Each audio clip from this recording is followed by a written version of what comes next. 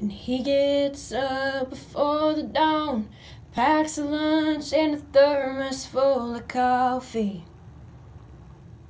It's another day in the dusty haze. Those burning rays are wearing down his body.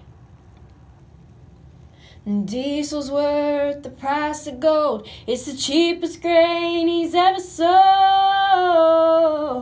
But he's still holding on. He just takes the tractor another round and pulls the plow across the ground and sends up another prayer.